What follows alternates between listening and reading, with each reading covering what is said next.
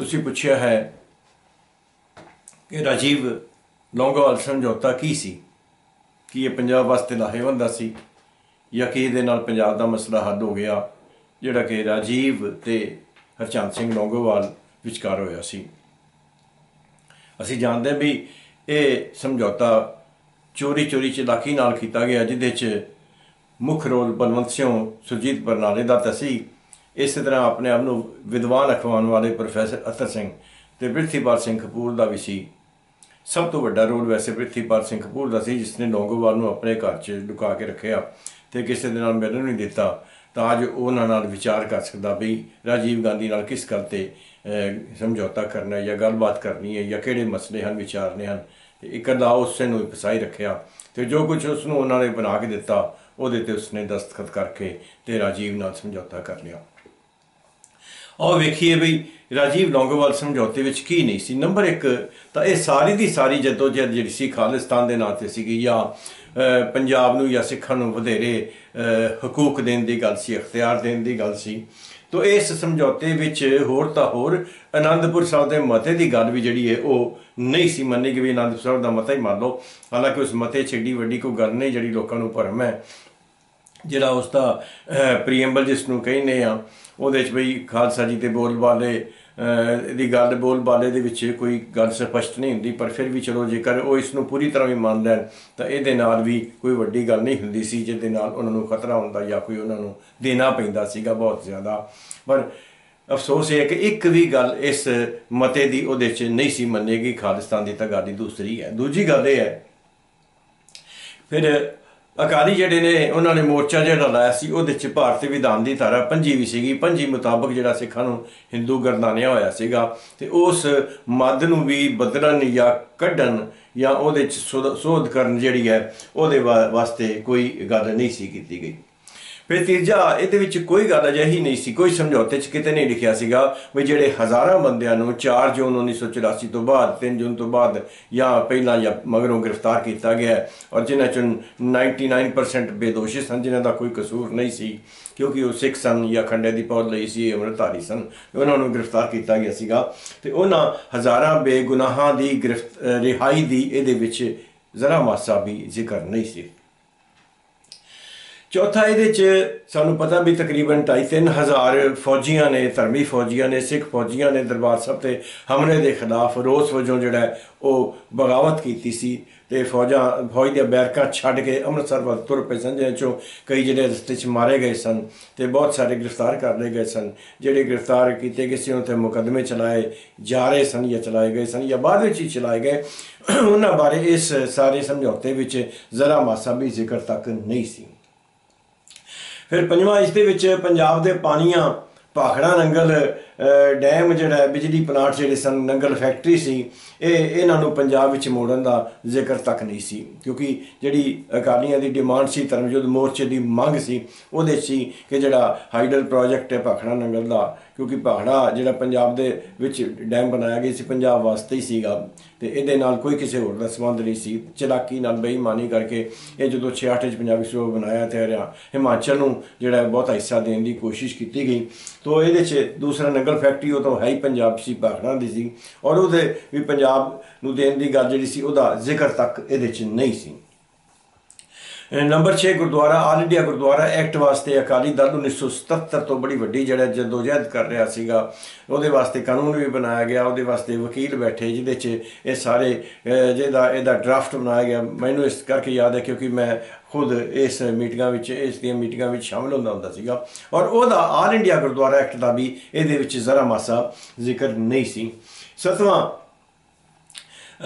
ਅਕਾਲੀ ਦਲ ਹਮੇਸ਼ਾ ਮੰਗ ਕਰਦਾ ਰਿਹਾ ਹੈ ਕਿ ਫੌਜ ਵਿੱਚ ਜਿਸ ਤਰ੍ਹਾਂ ਕਿ ਚਲਾਕੀ ਕਰਕੇ ਇਹਨਾਂ ਨੇ ਸੂਬੇ ਦੇ ਮੁਤਾਬਕ ਜਿਹੜੀ ਇਹ ਭਰਤੀ ਦੀ ਗੱਲ ਕੀਤੀ ਹੋਈ ਹੈ ਤੇ ਸੂਬੇ ਦੇ ਮੁਤਾਬਕ ਪੰਜਾਬ ਦੀ ਤਾਂ ਜਿਹੜੀ 2.5% ਹੀ ਆਂਦੀ ਉਹਦੇ ਵਿੱਚ ਸਿੱਖਾਂ ਦਾ 2% ਕੋਟਾ ਆਉਂਦਾ ਹੈ। ਯਾਨੀ ਕਿ ਫੌਜ ਵਿੱਚ ਸਿੱਖਾਂ ਦੀ ਭਰਤੀ ਘਟਾਈ ਗਈ ਸੀ ਤਾਂ ਜੋ ਇਹਨਾਂ ਦੀ ਗਿਣਤੀ ਬਹੁਤੀ ਨਾ ਹੋ ਸਕੇ, ਇਹਨਾਂ ਵਿੱਚ ਅਫਸਰ ਵੀ ਨਾ ਬਣ ਸਕਣਗੇ, ਜਰਨੈਲ ਵੀ ਨਹੀਂ ਬਣ ਸਕਣਗੇ।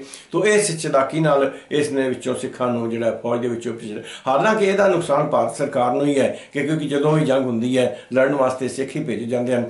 ਬਾਕੀ ਦੇ ਜਿਹੜੇ ਨੇ ਯੂਪੀ ਦੇ ਜਾਂ ਐਮਪੀ ਬਿਹਾਰ ਦੇ, ਇਹਨਾਂ ਨੂੰ ਜ਼ੁਕਾਮ ਹੁੰਦਾ ਤੇ ਪਿੱਛੇ ਭੱਜ ਜਾਂਦੇ ਹਨ ਜਾਂ ਜਿਹੜਾ ਇਹ ਇਹਨਾਂ ਦੇ ਅਫਸਰ ਵੀ ਜਿਹੜੇ ਨੇ, ਉਹ ਹਮੇਸ਼ਾ ਹੀ ਮੈਦਾਨ ਛੱਡ ਕੇ ਪਿੱਛੇ ਜਾਣ ਨੂੰ ਤਿਆਰ ਰਹਿੰਦੇ ਜਿਵੇਂ ਕਿ 1962 1965 ਤੇ 1971 ਦੀਆਂ ਤਿੰਨ ਜੰਗਾਂ ਵਿੱਚ ਸਾਰਿਆਂ ਨੇ ਵੇਖਿਆ ਹੀ ਹੈ। ਤੋ ਇਸ ਦੇ ਬਾਵਜੂਦ ਭਾਵੇਂ ਭਾਰਤ ਸਰਕਾਰ ਦੀ ਬੇਵਕੂਫੀ ਹੈ ਕਿ ਸਿੱਖਾਂ ਦਾ ਇਹਦੇ ਚੋਂ ਪੰਜਾਬੀ ਦਾ ਕੋਟਾ ਘਟਾਇਆ ਹੈ, ਪਰ ਇਸ ਜਿਹੜੇ ਕੋਟੇ ਦੀ ਮੰਗ ਸੀ ਅਕਾਲੀ ਦਲ ਦੀ ਵੀ ਇਹ ਕੋਟਾ ਵਧਾਇਆ ਜਾਵੇ, ਉਸ ਦੇ ਬਾਰੇ ਚ ਵੀ ਜ਼ਰਾ ਮਾਸਾ ਜ਼ਿਕਰ ਨਹੀਂ ਸੀ ਕਿ ਫੌਜ ਵਿੱਚ ਸਿੱਖਾਂ ਦੀ ਹੋਰ ਭਰਤੀ ਕੀਤੀ ਜਾਏਗੀ ਜਾਂ ਉਹਨਾਂ ਦਾ ਅਨੁਪਾਤ ਵਧਾਇਆ ਜਾਏਗਾ ਕਿ ਨਹੀਂ।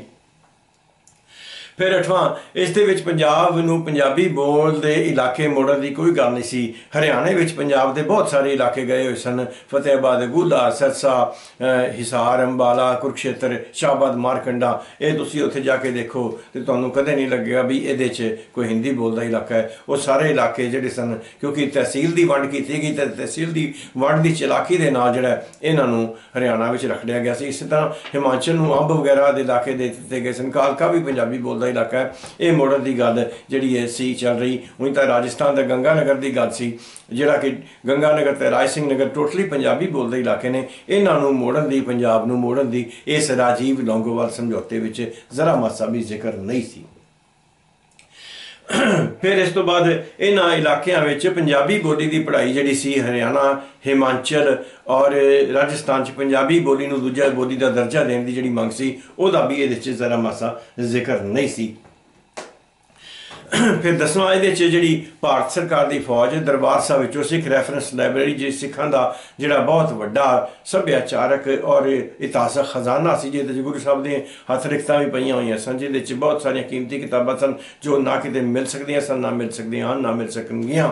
ਉਹਨਾਂ ਨੂੰ 200 ਬਕਸਿਆਂ 'ਚ ਚੋਰੀ ਕਰ ਲਿਆ ਗਿਆ ਸੀਗਾ। ਉਹਨਾਂ ਨੂੰ ਮੋੜਨ ਦੀ ਇਹਦੇ 'ਚ ਕੋਈ ਗੱਲ ਨਹੀਂ ਕੀਤੀ ਗਈ ਸੀ। ਚਲਾਕੀ ਕਰਦੇ ਸਨ ਕਿ ਅਸੀਂ ਇਹਦੇ 'ਚ ਕੋਈ ਨਹੀਂ ਲੈ ਕੇ ਗਏ। ਹਾਲਾਂਕਿ ਲੋਕਾਂ ਨੇ, ਫੌਜੀਆਂ ਨੇ, ਜਿਨ੍ਹਾਂ ਨੇ ਮੇਰਠ ਛਾਉਣੀ ਵਿੱਚ ਇਸ ਨੂੰ ਪੈ ਵੇਖਿਆ, ਹੁਣ ਉਸ ਦਾ ਪਤਾ ਨਹੀਂ ਵਜੂਦ ਕੀ ਹੈ। ਉਸ ਨੂੰ ਮੋੜਨ ਦੀ ਜਾਂ ਉਸ ਦਾ ਜ਼ਰਾ ਮਾਸਾ ਜ਼ਿਕਰ ਵੀ ਇਹਦੇ ਵਿੱਚ ਨਹੀਂ ਸੀ। 11ਵਾਂ ਇਹਦੇ ਚ ਜਿਹੜਾ ਖੂਨੀ ਨਵੰਬਰ 1984 ਹੈ 1 ਨਵੰਬਰ ਤੋਂ ਲੈ ਕੇ 7 ਨਵੰਬਰ ਤੱਕ ਦਿੱਲੀ, ਕਾਨਪੁਰ ਬੁਕਾਰੋ ਪਿਲਾਈ ਭੋਪਾਲ ਔਰ ਹੋਰ ਸੈਂਕੜੇ ਥਾਵਾਂ ਤੇ 3-400 ਥਾਵਾਂ ਤੇ ਜਿੱਥੇ ਜਿੱਥੇ ਕਾਂਗਰਸ ਦੀ ਹਕੂਮਤ ਸੀ ਕਾਂਗਰਸੀਆਂ ਨੇ ਸਿੱਖਾਂ ਤੇ ਜ਼ੁਲਮ ਕੀਤੇ ਸਨ ਜਿੱਥੇ ਹਿਟਲਰ ਤੇ ਚੰਗੇਜ਼ ਖਾਨ ਦੇ ਜ਼ੁਲਮ, ਜ਼ਕਰੀਆ ਖਾਨ ਤੇ ਮੀਰ ਮਨੂ ਦੇ ਜ਼ੁਲਮ ਭੁਲਾਤੇ ਗਏ ਸਨ, ਸਿੱਖਾਂ ਨੂੰ ਜਿਉਂਦੇ ਅੱਗ ਵਿੱਚ ਸਾੜਿਆ ਗਿਆ ਸੀਗਾ ਔਰ ਔਰ ਉਹਨਾਂ ਦੇ ਬੱਚਿਆਂ ਦੇ ਰੇਪ ਕੀਤੇ ਗਏ ਸਨ, ਘਰ ਲੁੱਟੇ ਗਏ ਸਨ, ਘਰ ਸਾੜੇ ਗਏ ਸਨ, ਉਹਨਾਂ ਦਾ ਉਹਨਾਂ ਨੂੰ ਮੁਆਵਜ਼ਾ ਦੇਣ ਜਾਂ ਉਹਨਾਂ ਜ਼ਾਲਮਾਂ ਨੂੰ, ਜਿਨ੍ਹਾਂ ਨੇ ਇਹ ਜ਼ੁਲਮ ਕੀਤਾ ਸੀਗਾ, ਜਿਹਦੇ ਚ ਖਾਸ ਕਰਕੇ ਲੀਡਰ ਸਨ ਜਗਦੀਸ਼ ਟਾਈਟਲ ਸੱਜੇ ਕੁਮਾਰ, ਲਲਿਤ ਮਾਕਨ, ਅਰਜਨ ਦਾਸ ਜਿਹੜਾ ਭਜਨ ਲਾਲ, ਹਰਿਆਣਾ ਦਾ ਚੀਫ ਮਿਨਿਸਟਰ ਜਿਹੜੇ, ਇਹ ਜਿਹੜੇ ਸੰਜਨਾ ਤੇ ਮੁਕਦਮੇ ਅੱਜ ਤੱਕ ਵੀ ਚੱਲ ਰਹੇ ਨੇ ਕਈਆਂ ਤੇ ਕਮਲਨਾਥ, ਜਿਹਨੂੰ ਮਿਨਿਸਟਰ ਬਣਾਈ ਰੱਖਿਆ। ਔਰ ਬਹੁਤ ਸਾਰੇ ਐਸੇ ਸਨ ਜਿਨ੍ਹਾਂ ਨੇ ਜ਼ੁਲਮ ਵਿੱਚ ਅਗਵਾਈ ਕੀਤੀ ਸੀ, ਜਾਂ ਆਪ ਕਰਵਾਏ ਸਨ, ਜਾਂ ਨਾਲ ਜਾ ਕੇ ਕਰਵਾਏ ਸਨ। ਉਹਨਾਂ ਨੂੰ ਸਜ਼ਾ ਦੇਣ ਦੀ ਜਾਂ ਉਹਨਾਂ ਦੇ ਮੁਕਦਮਾ ਚਲਾਉਣ ਦੀ ਕੋਈ ਗੱਲ ਨਹੀਂ ਸੀ। ਤੇ ਨਾ ਹੀ ਜਿਹੜੇ ਸਿੱਖ, ਜਿਹੜੇ ਮਾਰੇ ਗਏ ਸਨ। 84 ਚ ਹਜ਼ਾਰਾਂ ਸਿੱਖ ਉਹਨਾਂ ਦੇ ਪਰਿਵਾਰ ਨੂੰ, ਉਹਨਾਂ ਦੇ ਬੱਚਿਆਂ ਨੂੰ ਕੋਈ ਕੰਪਨਸੇਸ਼ਨ ਦੇਣ ਦੀ, ਉਹਨਾਂ ਨੂੰ ਵਸਾਉਣ ਦੀ, ਉਹਨਾਂ ਦੇ ਵਾਸਤੇ ਸਹੂਲਤਾਂ ਦੇਣ ਦੀ ਜਿਹੜੀ ਉਹਦੇ 'ਚ ਕੋਈ ਗੱਲ ਨਹੀਂ ਸੀ। ਫਿਰ ਇਸ ਤਰ੍ਹਾਂ 13ਵਾਂ ਸ਼੍ਰੋਮਣੀ ਅਕਾਲੀ ਦਲ ਨੇ 1982 ਦੇ ਧਰਮਸ਼ੁੱਧ ਮੋਰਚੇ 'ਚ 45 ਮੰਗਾਂ ਰੱਖੀਆਂ ਸਨ, ਜਿਨ੍ਹਾਂ ਵਿੱਚੋਂ ਇੱਕ ਵੀ ਮੰਗ ਜਿਹੜੀ ਹੈ ਉਹ ਇਹਦੇ ਵਿੱਚ ਨਹੀਂ ਸੀ ਮੰਨੀ ਗਈ। ਪਰ ਇਸ ਸ਼ਰਮਨਾਕ ਸਮਝੌਤੇ ਦੇ ਉਲਟਾ ਇਹਦੇ 'ਚ ਕੀ ਸੀ? ਇਹਦੇ 'ਚ ਇਹ ਤਾਂ ਕੀ ਸੀ? ਜਿਹੜੇ ਮੰਗ ਮੰਨੀ ਨਹੀਂ ਸੀ ਕਿ ਨੁਕਸਾਨ ਕੀ ਕੀਤਾ ਗਿਆ? ਨੰਬਰ 1 ਪੰਜਾਬ ਰਾਈਪੇਰੀਅਨ ਸੂਬਾ ਹੈ ਤੇ ਰਾਈਪੇਰੀਅਨ ਸਟੇਟ ਦੇ ਵਿੱਚ ਪਾਣੀ ਦਾ ਹੱਕ ਸਿਰਫ ਉਸੇ ਸੂਬੇ ਦਾ ਹੁੰਦਾ ਹੈ। ਪਰ ਇਸ ਸ਼ਰਮਨਾਕ ਸਮਝੌਤੇ ਹੇਠ ਰਾਜਸਥਾਨ ਨੂੰ 55 ਤੋਂ 65% ਪਾਣੀ ਰਾਜਸਥਾਨ ਨੂੰ ਦਿੱਤਾ ਜਾਂਦਾ ਸੀ। ਰਾਜਸਥਾਨ ਨੂੰ ਪਿਛਲੇ ਕੋਟੇ ਤਾਂ ਪਾਣੀ ਜਿਹੜਾ ਸੀ ਉਹ ਗੁਰਦਾਸਪੁਰ ਦੇ ਨਹਿਰ ਚੋਂ ਤਾਂ ਬੰਦ ਕੀਤਾ ਗਿਆ ਉਸ ਨੂੰ ਜਾਰੀ ਕਰਨ ਦੀ ਗੱਲ ਸੀ।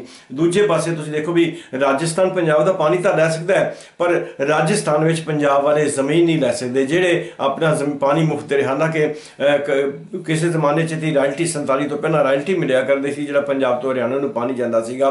ਤਾਂ ਉਸ ਜਿਹੜਾ ਸੀ ਪਾਣੀ ਰਾਜਸਥਾਨ ਨੂੰ, ਉਹਦਾ ਕੋਟਾ ਜਿਹੜਾ ਉਸੇ ਤਰ੍ਹਾਂ ਬਰਕਰਾਰ ਰੱਖਿਆ ਸੀਗਾ। ਰਾਦਰ ਉਸ ਕੋਟੇ ਨੂੰ ਜਿਹੜਾ ਸੀ, ਵਧਾਇਆ ਵੀ ਗਿਆ, ਦੇਖਿਆ ਜਾਵੇ ਤਾਂ। ਦੂਜਾ, ਹਰਿਆਣਾ ਦਾ ਪੰਜਾਬ ਤੇ ਪਾਣੀਆਂ ਦੇ ਉੱਤੇ ਕੋਈ ਹੱਕ ਨਹੀਂ ਬੰਦਾ ਔਰ ਇਸ ਰਾਈਪੇਰੀਅਨ ਦੇ ਕਾਨੂੰਨ ਦੇ ਵੀ ਖਿਲਾਫ ਹੈ ਔਰ ਇਹਦੇ ਵਾਸਤੇ ਜਿਹੜਾ ਧਰਮ ਯੁੱਧ ਮੋਰਚਾ ਵੀ ਸ਼ੁਰੂ ਕੀਤਾ ਗਿਆ ਸੀ, ਸਤਲੁਜ ਯਮਨਾ ਲਿੰਕ ਨਹਿਰ ਐਸਵਾਈਐਲ ਨਹਿਰ ਜਿਹੜੀ ਹੈ, ਉਸ ਨੂੰ ਬੰਦ ਕਰਨ ਵਾਸਤੇ, ਉਹਦੇ ਵਾਸਤੇ ਜਿਹੜਾ, ਉਹ ਜਿਹੜਾ ਉਸ ਨਹਿਰ ਰਾਈ ਜਿਹੜਾ ਹਰਿਆਣੇ ਨੂੰ ਪਾਣੀ ਦਿੱਤਾ ਜਾਂਦਾ ਸੀ ਉਹਦੇ ਖਿਲਾਫ ਮੋਰਚਾ ਲਾਇਆ ਗਿਆ ਸੀ ਕਪੂਰੀ ਵਿੱਚ। ਤੋਂ 1982 ਦੇ ਉਸ ਮੋਰਚੇ ਦੇ ਦੇ ਆਧਾਰ ਤੇ ਹੀ ਸਾਰਾ ਕੁਝ ਚੱਲ ਰਿਹਾ ਸੀਗਾ। ਔਰ ਉਲਟਾ ਇਹ ਕਿ ਹਰਿਆਣੇ ਨੂੰ ਪਾਣੀ ਦੇਣਾ ਬੰਦ ਕੀਤਾ ਜਾਂਦਾ ਜਾਂ ਸਤਲੁਜ ਯਮੁਨਾ ਦਾ ਲਿੰਕ ਜਿਹੜੀ ਹੈ ਉਸ ਨੂੰ ਬਣਾਉਣਾ ਬੰਦ ਕੀਤਾ ਜਾਂਦਾ ਸਗੋਂ ਇਹ ਮਾਦ ਰੱਖ ਦਿੱਤੀ ਗਈ ਕਿ 26 ਜਨਵਰੀ ਅਹ, 15 ਅਗਸਤ 1986 ਤੱਕ ਜਿਹੜੀ ਹੈ ਐਸਵਾਈਐਲ ਨਹਿਰ ਬਣਾ ਕੇ ਦਿੱਤੀ ਜਾਏਗੀ। ਔਰ ਇਹ ਜਿਹੜਾ ਰਾਜੀਵ ਲੌਂਗੋਵਾਲ ਸਮਝੌਤੇ ਦੇ ਵਿੱਚ ਲਿਖਿਆ ਗਿਆ ਸੀ। ਫਿਰ ਇਸ ਸ਼ਰਮਨਾਕ ਸਮਝੌਤੇ ਵਿੱਚ ਤੀਜੀ ਗੱਲ ਇਹ ਸੀ ਕਿ ਚੰਡੀਗੜ੍ਹ ਪੰਜਾਬ ਨੂੰ ਮੋੜਨ ਦੇ ਬਦਲੇ ਹਰਿਆਣੇ ਨੂੰ ਇਹਦੇ ਬਦਲੇ 107 ਪਿੰਡ ਪੰਜਾਬ ਦੇ ਜਿਹੜੇ ਦਿੱਤੇ ਜਾਣ ਦੀ ਗੱਲ ਸੀ। ਹਾਲਾਂਕਿ ਅਸੀਂ ਅਹ, ਪੰਜਾਬ ਮੰਗ ਕਰ ਰਿਹਾ ਸੀ ਕਿ ਪੰਜਾਬੀ ਬੋਲਦੇ ਇਲਾਕੇ ਪੰਜਾਬ ਨੂੰ ਮੋੜੇ ਜਾਂਦੇ ਹਰਿਆਣਾ ਦੇ ਤੇ ਉਲਟਾ ਸੀ ਵੀ 107 ਪਿੰਡ ਹੋਰ ਦੇ ਦਿੱਤੇ ਜਾਣ।